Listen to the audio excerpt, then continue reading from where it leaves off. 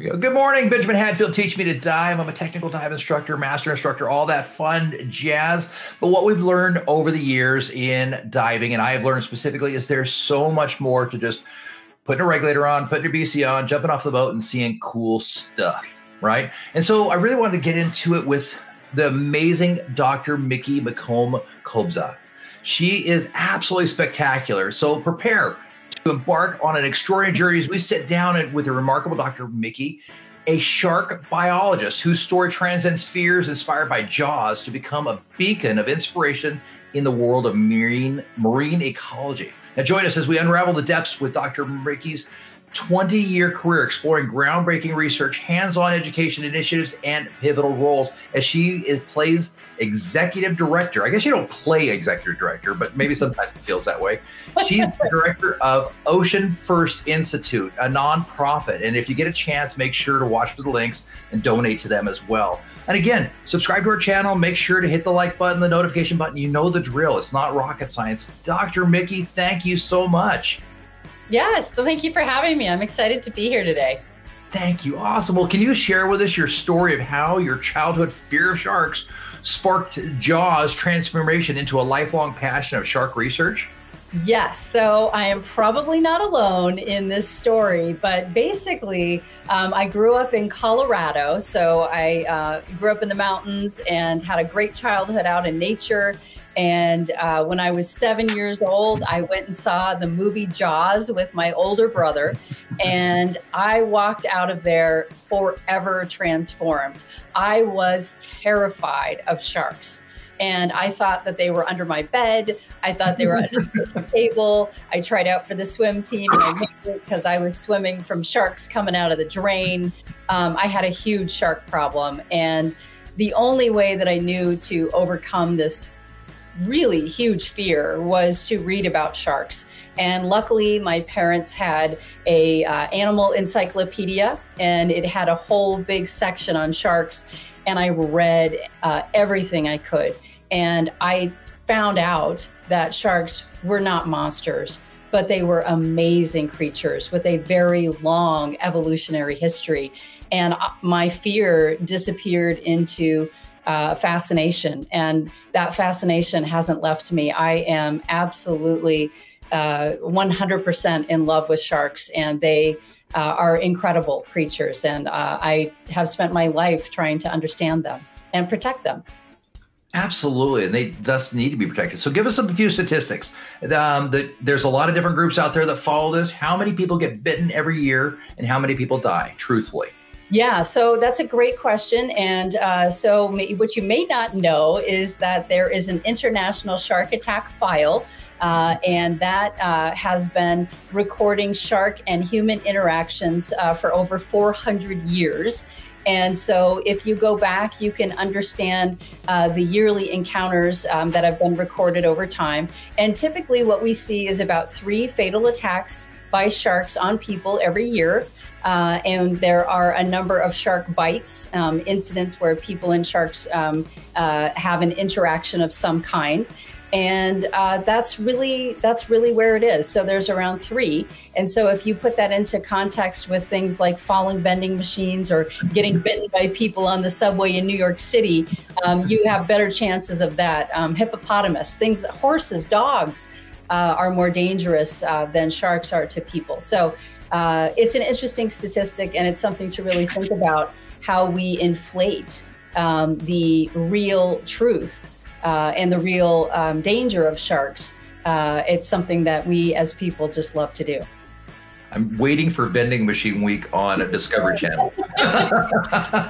well, you have statistically, actuarially, you have 40 vending machine deaths a year and three shark deaths a year. Yeah. Let's be more fair to shark, uh, or uh, Bite Week in New York City. That would be a good one too. So. Subway. Yeah, no, it's true. And it just, I think it's a primal fear. You know, there's thalassophobia. People are afraid of looking down when they're diving into the deep, into the depths. And, you know, it's a, it's a primal fear, I think. And it strikes a chord.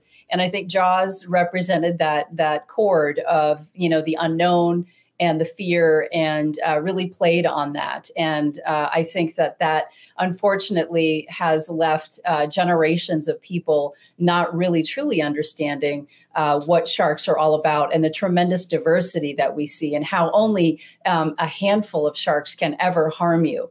Um, and there are over you know 500 different species swimming in the ocean today so you know really if you take a deeper dive into sharks you'll understand that you know they really are not uh, the monsters that uh, you know Shark Week or other uh, you know other platforms may sometimes uh, portray them as.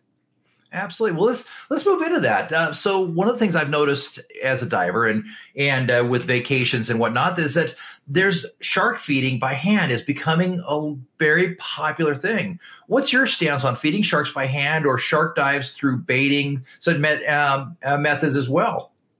Yeah, it's an interesting question. Um, it's been, you know, happening for you know decades in different areas all over the world. Um, I myself have participated in these, um, you know, shark uh, dive, cage dive, uh, cage diving, where you know you've you use bait to attract sharks um, it's it's just one of the tricks of the trade. It's very challenging to go into the water and suddenly be surrounded by sharks, and so maybe that's a misnomer in itself. People believe that when they go into the water, suddenly there's hundreds of sharks circling you, and there just isn't. You're very very lucky um, if you're to see a shark in an unbaited situation to be to be uh, candid and truthful to you.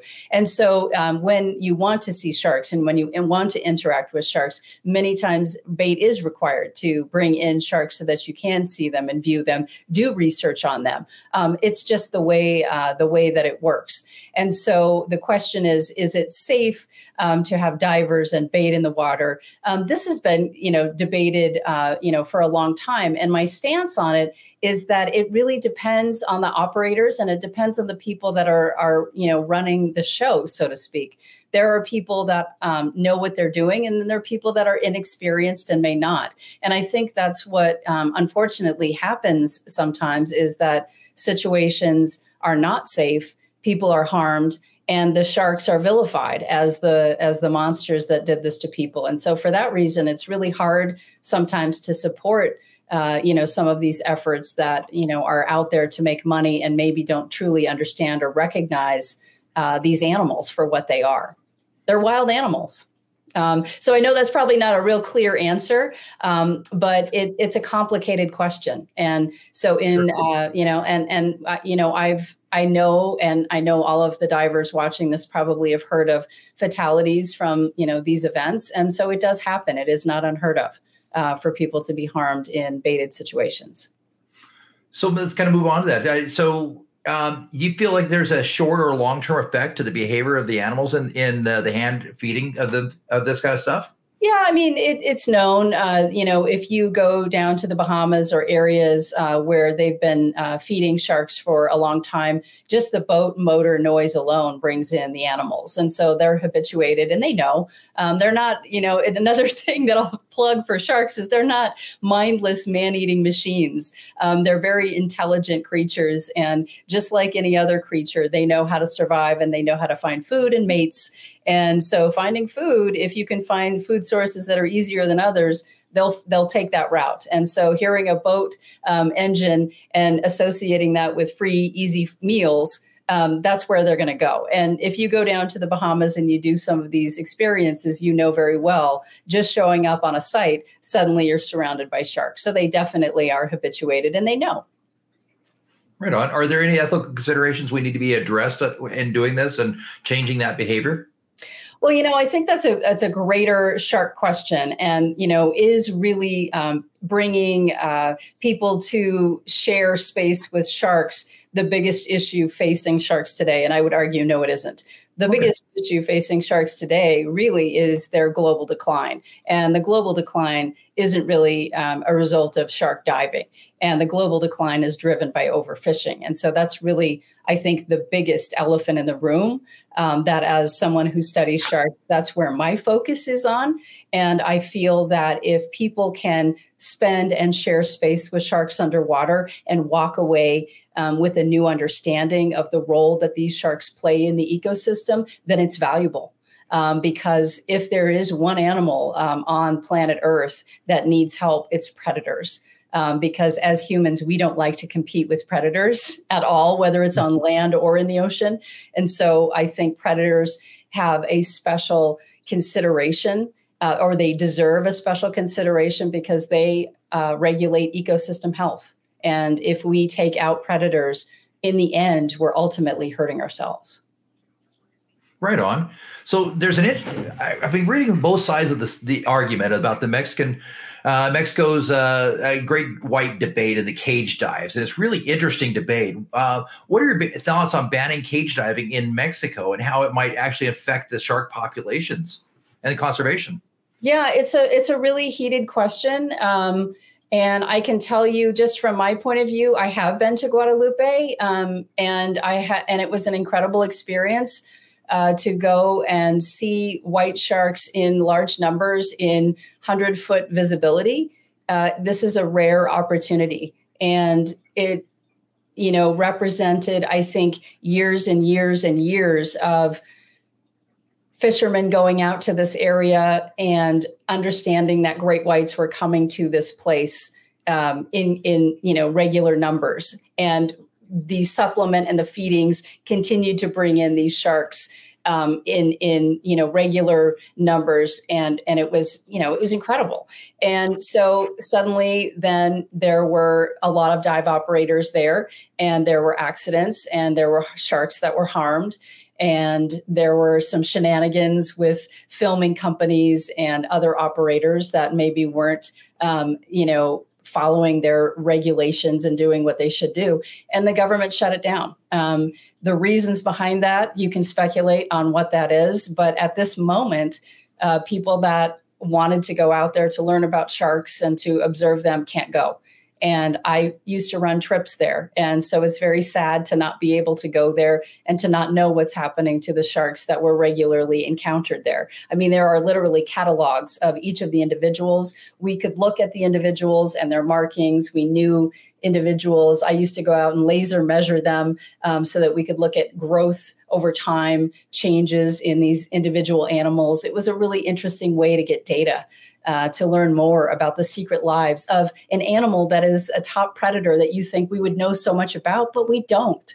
Um, that was one of the takeaway messages with Guadalupe is there's still so much we don't know, and so shutting this down um, is is a is a shame for researchers for science. It's a loss. Um, it's a loss for those that would go out and play by the rules and do the right things. Um, and uh, so it's a shame. I think it's a shame for for everyone. And uh, I hope moving forward that there's a way to reopen uh, with the animals' health and well being um, front and center. Absolutely. There's also now I, I, weighing in on that a little bit. I've, I've, also heard the idea that there's a concern of poaching on in that area as well. That um, without them being fed and without this this industry in that, where it's going to cause a great decline in that in that area and uh, allow people to do more shenanigans in there. Do you have you heard that as well? I've heard that, and and it's absolutely possible. And I think that um, again, uh, when we look at shark populations, the biggest uh, concern is loss of animals. And you know, when you have an animal like a great white shark, they're a trophy. and I mean that's just the way it is. Whether it's their teeth, their skin, whatever it may be, or just the the ability to take this animal out, um, it's a lure for some people. And unfortunately, if you don't have enforcement, which is an issue globally uh, with you know removing items and animals from the sea, uh, you know you can't you can't police everything, unfortunately. So that is a concern. Absolutely, it's it's it's an interesting debate. That is for sure. As you look at how we've impacted in what you'd appear to be a negative way, but turns out to be an amazingly positive way that now becomes a big negative as well. So it's it's definitely interesting. With the great whites, what's the greatest mystery that you're still trying to solve with the great white shark? I think, you know, with sharks in general, you know, many of them have similar physiology. And so they have similar, you know, um, responses to to the environment. And one of the things that I think is is intriguing is to understand well there's there's so many but i'm going to try to just keep it keep it uh, short. I think there's two. How do they find each other when they're trying to mate? What's going on there? They don't have cell phones. They can't connect to each other. I don't know. So is it is it chemicals? Is it pheromones? It what is it that allows them to find each other in these vast open spaces of the ocean to show up in the same places perhaps seasonally um, to mate? We're just you know peeling back the ocean to understand that perhaps great white sharks off the northeast coast of the united states are coming together in the uh, you know off of the carolinas uh, north and south carolinas during certain times of year perhaps to mate um, these are questions we don't know the answer to, and the and so that to me is fascinating. How do these animals find each other? And the second thing is how do they find their way? And so, one of the things that hopefully we can talk about later is um, sharks' sensory systems. One of those sensory systems is the electrosensory system. And it's believed by scientists that sharks use their electrosensory system to navigate the Earth's magnetic field. And this is incredible. So this would be um, using, um, you know, going from seamount to seamount, using um, the Earth's lines really to help you navigate through and show up at the same places. Um, to have your own roadmap, if you will, um, in your own um, sensory system. So trying to tease apart what that looks like and how it works is really one of the last great questions in shark science. That's amazing. And you beat me to the next question because that was my exact was what specific aspects of sensory uh, biology do you find the most fascinating? Yeah. Well, you know, I I think that, you know, we we as a as as humans really, I think, underestimate the ability of animals um, oftentimes, whether it's their cognitive abilities or, you know, their sensory systems or anything. And I think sharks are no different. I think sharks are a lot smarter than we give them credit for. They're social animals, which which blows people's minds that we have social structures with hammerheads which are thought to be the smartest of the sharks in the shark world. They're also the most recently evolved sharks. Um, but I think just, you know, really understanding um, you know what uh, the sensory systems are allow these animals to do is it, it just is fascinating. And um, yeah it, it, there's just every question you answer really allows you to then refine and ask more questions. And that's what great science does. Right on. So hammerheads are the newest. Who's the oldest Oh, that's a great question. So there are so many more animals uh, that are that have gone extinct than than are alive today, and so that's really uh, something to think about. And sharks are particularly uh, challenging uh, when we look back in the fossil record to really understand the evolution of sharks. And so when we look at the dinosaurs, for example, we have really great um, fossil records, rocks of the right age in the right place to really give us clues. Sharks are a little bit different because their bodies are made of cartilage, and so they don't fossilize as well as bone. And so many times when we look at the fossil record of sharks, um, trying to trace back that evolutionary history back to the beginning, um, we're looking at teeth, we're looking at vertebrae, um, and we're trying to reconstruct what these animals look like. If we're lucky, sometimes we'll have intact, um, uh, you know, body parts that allow us to understand sort of the shapes. Weird um, animals like um, Stethacanthus, uh, whorl tooth sharks that look like they have buzz saws in their jaws. some of the earliest sharks um, you know, are, are bizarre in, in comparison to some of the ones that we see swimming in the ocean today. But again, life is almost an arms race. So what was required to survive in an ocean 400 million years ago is not perhaps what is required today. And that's why sharks are such a fascinating group to study because they have that long history with which we can trace some of these amazing adaptations that we see manifesting in uh, you know the bodies of animals swimming in the water today.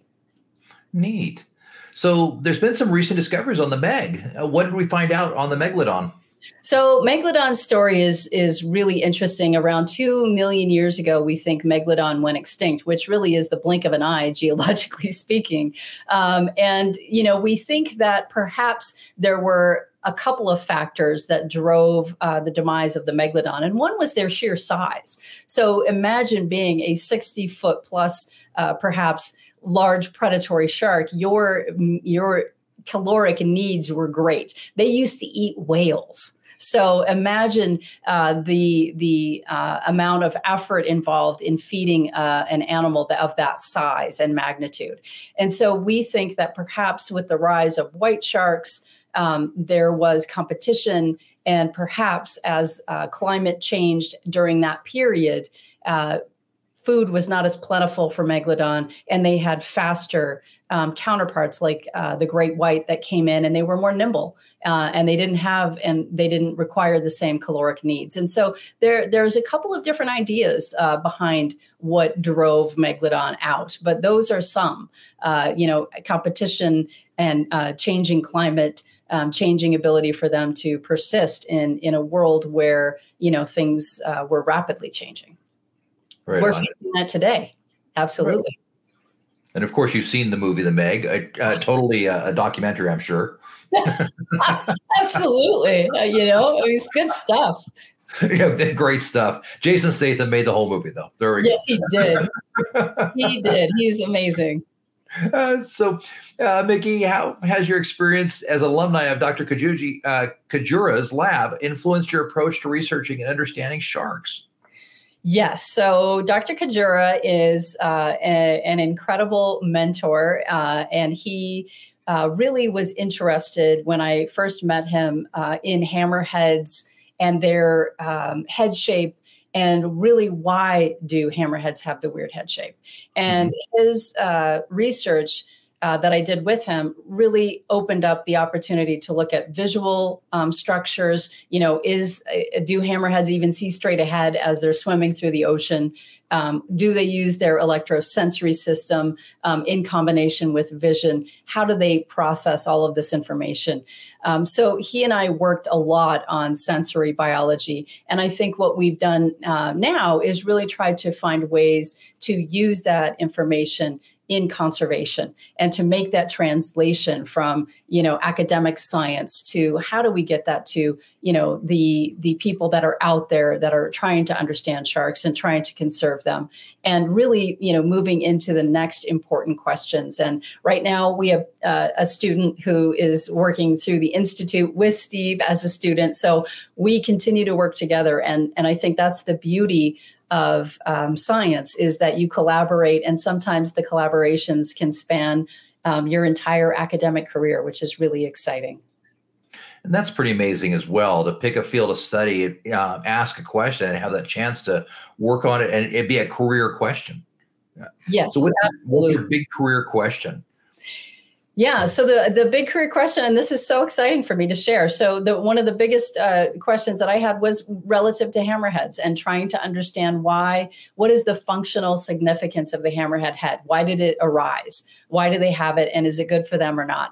And uh, we, you know, did a lot of studies on their visual fields and their electrosensory system. And what we found is that ha- we didn't think hammerheads could even see straight ahead. Well, they can. Their eyes are canted slightly forward on those uh, on that big head that looks like a big bow plane, and we found that they have big blind spots just in front of their head. So just like when you put your finger here, you can't really see. Um, mm-hmm. We found that they have these big blind spots, and we believe that the electrosensory system um, works in that void, that visual void. And the electrosensory system is just that on the snout of a shark, they've got these jelly filled canals called the ampullae of Lorenzini that literally allow the shark to feel weak electric fields generated by living things. And so having the visual void in front of their head um, and and having that filled in with the sensory system, the electrosensory system, just shows these are perfect predators. Um, these are uh, incredible animals that have adapted to do very well in their environment. And right now, at the Frost Science Museum in Miami, they have a whole exhibit of my work where they show the visual fields of hammerheads, and you can put your head into a little hammerhead and see what it's like to see as a hammerhead and what their world looks like and how neat to have the research translate into something little kids are running up and down trying to to get a glimpse of what it's like to be a shark. And i can't think of a, of a neater thing. And we even had the work um, in a dr seuss book. I thought that was pretty amazing. It is. Yeah. Oh my goodness. How fascinating and amazing. Um, so uh, changing gears just a little bit, the, you work with Ocean First Institute and you focus on marine uh, research, conservation, education. Can you a little elaborate a little bit on some of the high profile conservation projects that your institute is involved in? Yeah. Um, so we do uh, a lot of work uh, with great white sharks. Um, so that's been one of the latest uh, projects that I've been working on. And the question has been um, how best to detect and find white sharks out there in a big, vast ocean. And so I have been deploying what are called BRUVs, which are baited remote underwater video cameras off of vessels in the um, Atlantic Ocean. And these cameras have bait with them. So they attract the sharks. The sharks come in to see the bait and we get them on the camera. And when we get sharks on cameras, we're able to look at their sizes, the sex, the markings, and that helps us really try to understand which animals are where, when, at what time of the season, and and it lets us understand, you know, what are some of the best methods that we can use to detect these animals. We also, um, as we deploy these cameras, we uh, grab a sample of water, take that back to the lab with us, and we can extract the DNA from the water. And we can then find out by simply taking water samples near our cameras whether or not we had white sharks in the area. And the way that we do that is to just find white shark DNA in that sample. And so we've been doing DNA um, as well as BRUVs together in combination with our fishing effort to just see which method is really great in helping us understand these animals. Wow. That is amazing. White sharks are absolutely fascinating. They're they're I think they they've captured the mind and hearts of a lot of people as um, great sharks, uh, um, hammerheads, and of course threshers are always interesting as well. But they've got a pretty white sharks have a pretty good migratory pattern. How far do they migrate um, in the course of a year?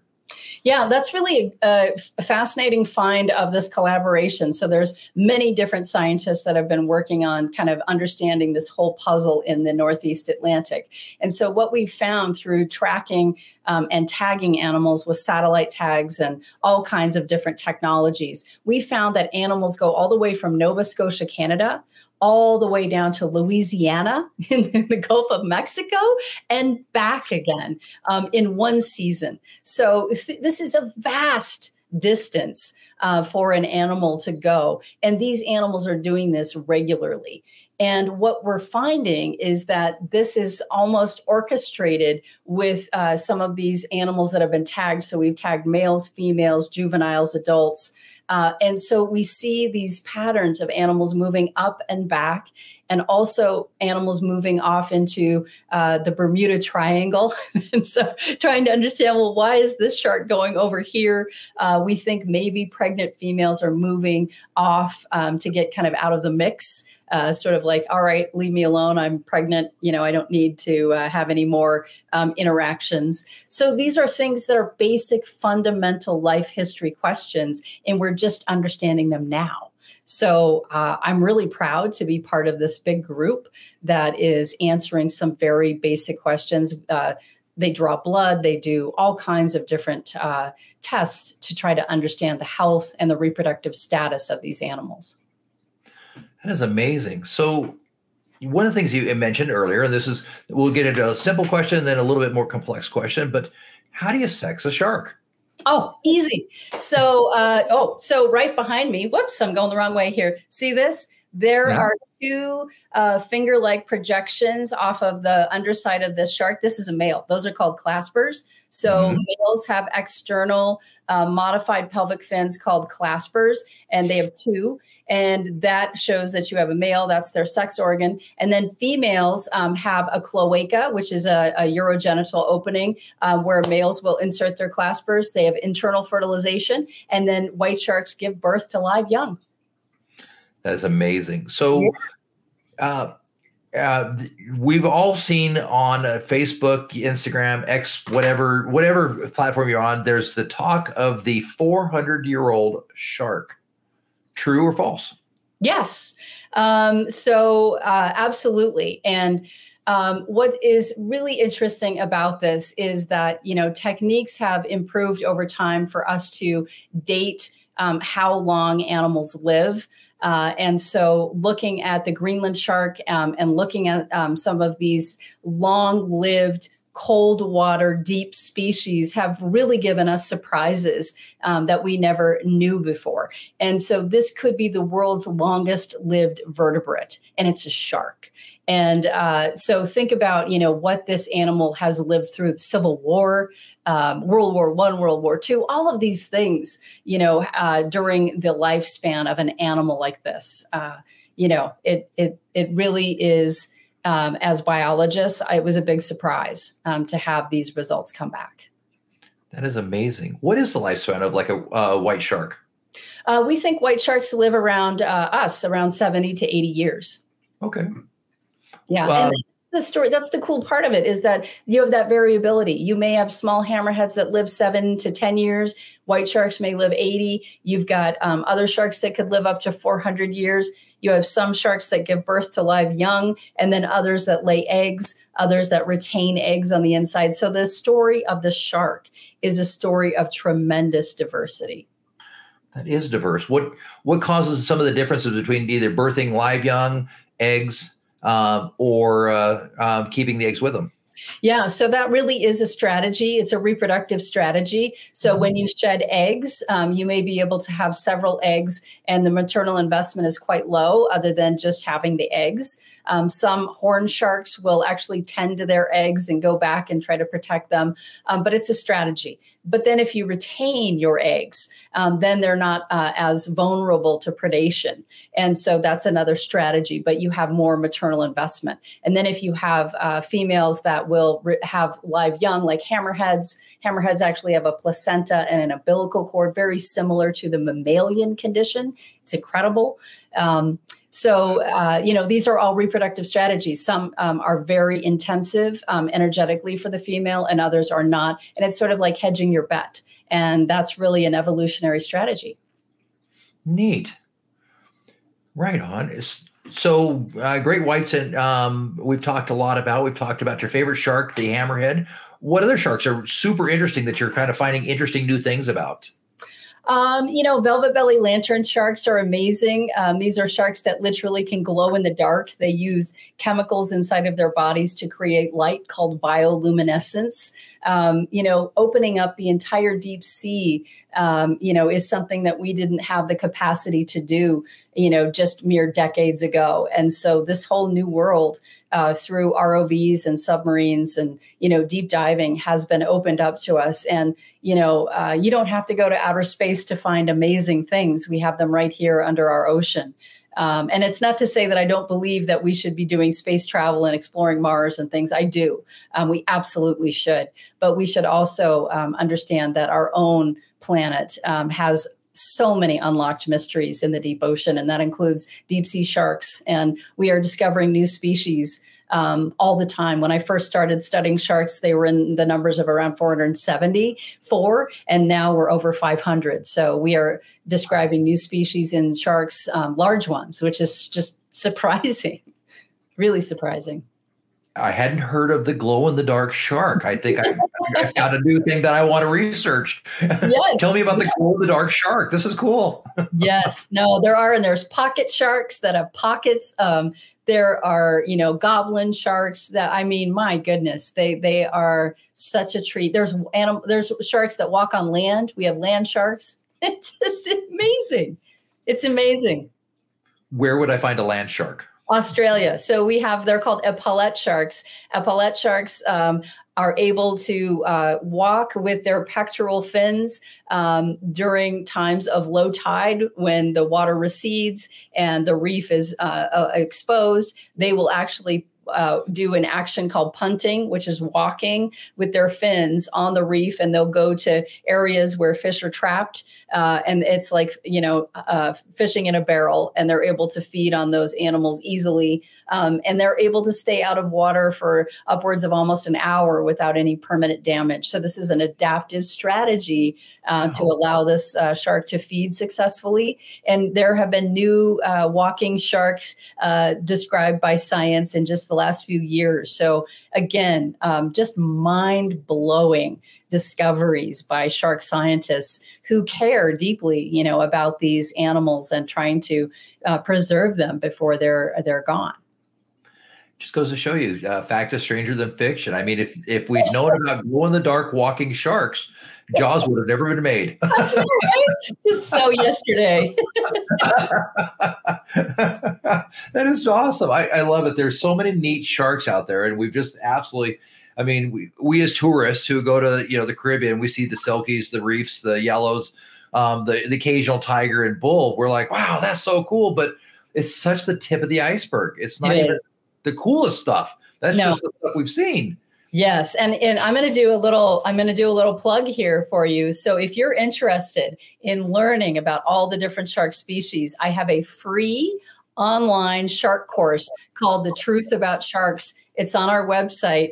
Um, so we can we can give you the link for that but anybody can take it and you can learn all your heart's desire about sharks and their diversity and their life history and all of that so I would be happy if some of the divers watching this would learn more uh, with, about sharks.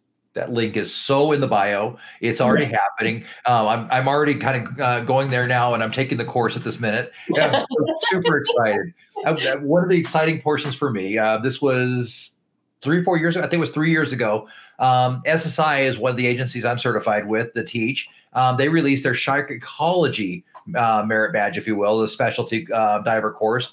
As soon as I found out that was available, I immediately went in and took the course. I watched the uh, the course live at, um, through you guys and uh, um, to get the certification. And I was like, yes, this is so cool.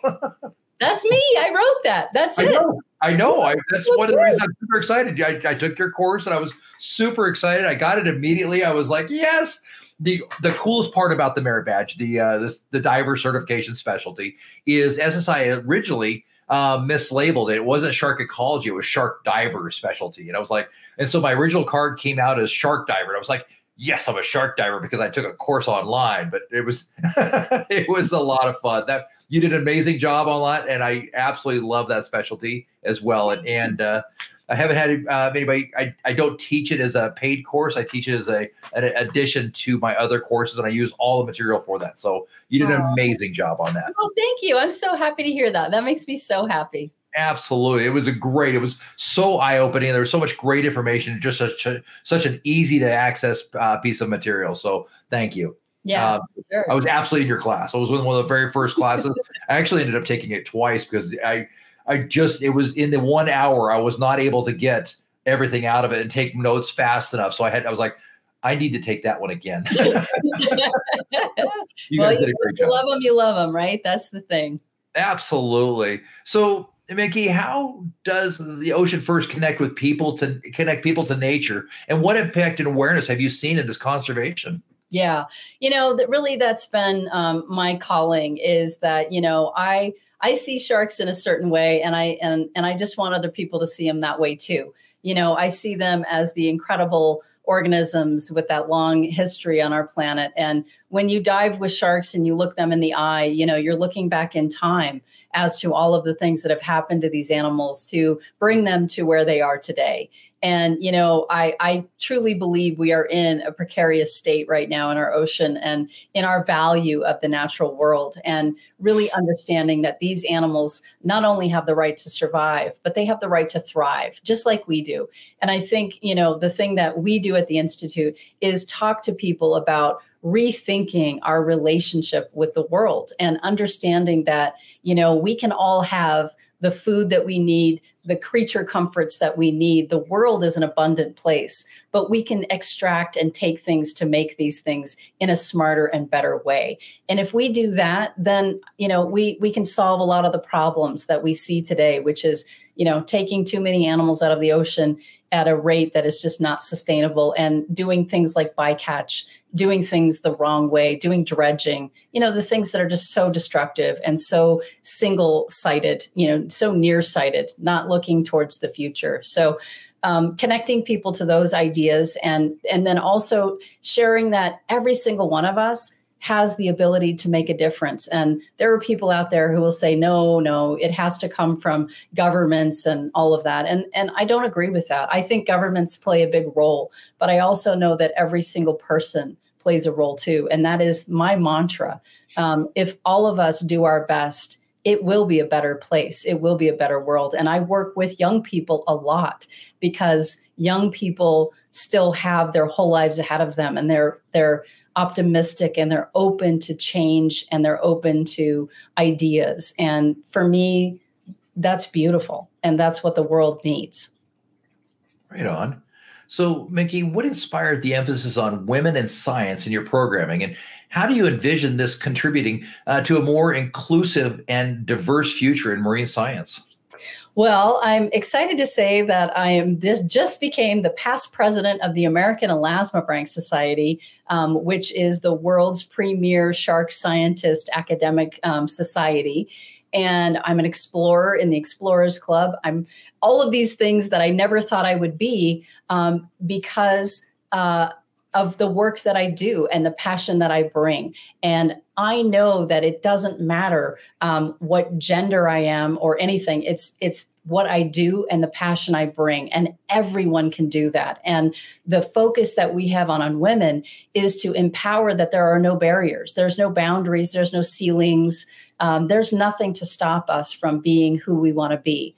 And if we help each other find those opportunities, that's the key to all of it. It's not about pushing anybody down or trying to do any of those things. It's about you know really bringing each other up. Everyone, you know, in my mind, everyone is equal. Everyone has the opportunity, and everyone should have those opportunities. And really helping women find opportunities um, and and know that there are no limits. Um, we don't have to be afraid of math or science or any of those things. Um, you know there are and we don't have to be afraid of going on vessels um, and studying sharks. You can do it. Absolutely. I'm a testament to it. Me and a band of other women do it and it's all possible. Nice. Now the idea of moving away from the traditional man versus beast narrative uh, what role do you feel women are playing in redefining that human relationship with sharks yeah, I tell you, uh, there are so many incredible women shark scientists out there, and I am so proud of the progress that women have made to put themselves out there, go out on vessels, ask questions, um, do hard science, do heavy lifting, uh, draw blood, do you know really novel science, um, pushing the envelope in technology um, having to do coding and math and you know all the things that chemistry things that we never really thought would be incredibly valuable. But when you study animals you have to have a huge toolbox. And i think women um, really work well with other women and bring this um, new you know vision to shark science that it's inclusive everyone can do it and we can all help each other it doesn't have to be a competitive space um, there's enough room at all of the tables for us to work on these animals because there is a problem. And I think as women and as scientists, including all men, we are trying to fight to solve problems to help save these animals and working together. You know, we're always stronger when we work together. And I think that's one of the things that women bring to the table is collaborative opportunities. That's awesome. Uh, by the way, congratulations, Women Divers Hall of Fame. No small accomplishment by any manner means. Thank um, you. One of the newest inductees. Can you discuss the significance of being inducted into the Women Divers Hall of Fame and how that's contributed to your success in the field of uh, conservation? I can tell you with with no hesitation that diving is my life. I can tell you that um, as a young person, it was all I ever wanted to do and be. And diving is central to who I am and to what I do. And to be inducted into the Women Divers Hall of Fame was an unbelievable honor for me. I never dreamed something like that would happen um, to me. Uh, but I think it just illustrates how critical and incredible diving is uh, for women and for uh, what we do. To, as I mentioned before, diving is going into the world's last wilderness, and you never know what you're going to see. And it is the ability to dive that allows me to do the work that I do. And it's absolutely essential. And I'm just proud um, to be inducted with such incredible women. And I hope that it inspires other women to become divers because once you dive, you don't go back. it's, a, it's, an amazing, uh, it's an amazing experience that will change your life. That's amazing. Such a great organization. The Explorers Club, uh, Women Divers Hall of Fame, great, great organization. Just super excited to uh, have them out there and doing what they do and having people like you as part of it to lead the charge. Um, so you do a lot with citizen science initiatives um, in your research. So how do you incorporate these citizen science initiatives into your research? Yeah, um, it's really important to me as a scientist to try to open the door and bring as many people into the tent as possible. Um, I think science um, is not as challenging sometimes as it's made out to be. And I think that everyone, even children, have um, an innate curiosity. And that's what a scientist is, is someone who's curious, who's trying to answer questions and trying to understand the natural world. And that's all it is. And so I think by incorporating citizen science and bringing people who have curiosity to the table to allow them to have opportunities for meaningful science and projects. I can't think of anything more important. And so um, here in Colorado, where I'm based, um, I run a lot of programs with microplastics, looking at microplastics in the environment. I do it in, in high schools. I have in, in middle schools and even in elementary schools. And I have students looking under the microscope, trying to understand why are these things here in our water system, microfibers and microplastics, but most importantly, how can they make a difference? What can they do to change what we're seeing? And that's powerful. And having them record data under a microscope, add that to a, a database, it's incredible. Um, we do that with sharks. We have students laser measure sharks underwater, record the data in a in an online database, and it gets them invested and understanding the value of research because research is what can move conservation forward, but it's also people who care enough to show up and to be part of these uh, projects that really can move these conservation projects forward with politicians and those that have the ability to really make the, the changes in the laws in what we need. Right on. So, Mikki, in your opinion, what are some of the simple actions individuals like myself or others can take to contribute to ocean conservation, even if they live far away from the coast? Yeah, I get that all the time. And really, I think it starts with what you buy. Um, that's a really easy way. So, thinking about single use plastics, um, you know, we can do better. Um, thinking about using your water bottle, it sounds so trivial and silly, but, you know, one of the biggest issues is, you know, single use plastic. And that is showing up in our ocean, in our rivers, our streams, in the air uh, microfibers, thinking about what clothing you you wear uh, and how you wash your clothing. That's another really big one. Um, and then thinking about what you eat. You know, do we? You know, that's another, and it's a very sensitive topic. But do we need to eat? Um, you know, meat. Um, seven days a week, uh, three times a day. Um, there are ecologically more friendly ways um, to incorporate things in our diets. Um, so, what we eat, what we buy, and then what we say, how we model um, the importance of the natural world to other people in our family and friends, um, our, our groups. It's, it's critical to share that the natural world is worth fighting for and it's worth having a career in. And this is not a discounted, silly thing. It's really um, fighting for our own survival to have a healthy, functioning worldwide ecosystem. We have to have that in order to have healthy future generations that have abundance and have these amazing animals in it. Absolutely. Mikki, one last question. Looking ahead, what are some of the key challenges or better yet, opportunities that you see in marine conservation? Yeah, I think really um, finding ways to feed our planet um, sustainably is one of the biggest things.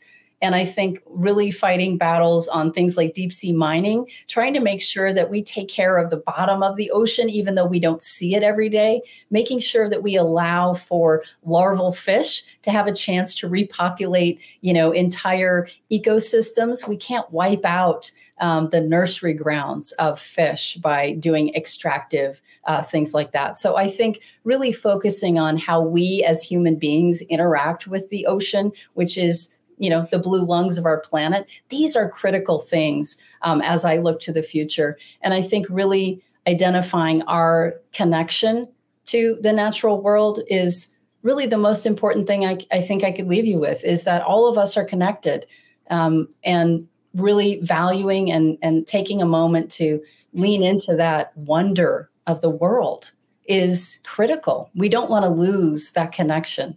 And I fear that we're so busy sometimes that we forget how incredible it is to look up at the stars and the moon and to go diving and to have the experience of looking a shark in the eye. These are incredible things.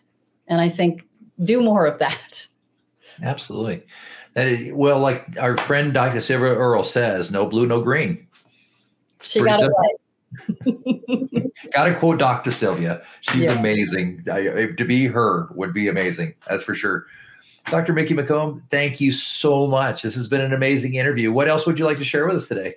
Oh, I just want to say thank you uh, for the opportunity to be here and to share um, my passion for sharks. And, you know, uh, I think all of us, as I said, really have that beautiful connection to nature. And I just say lean into it. And uh, yeah, and, and I hope you can take the shark course, learn more about sharks, do it.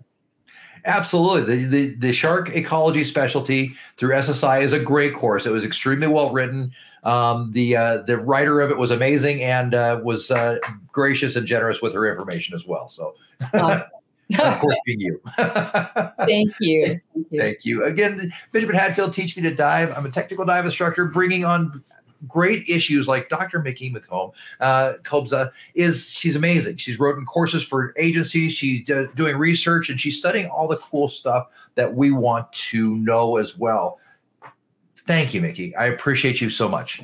Yeah, absolutely. Thank you all. Bye. Perfect.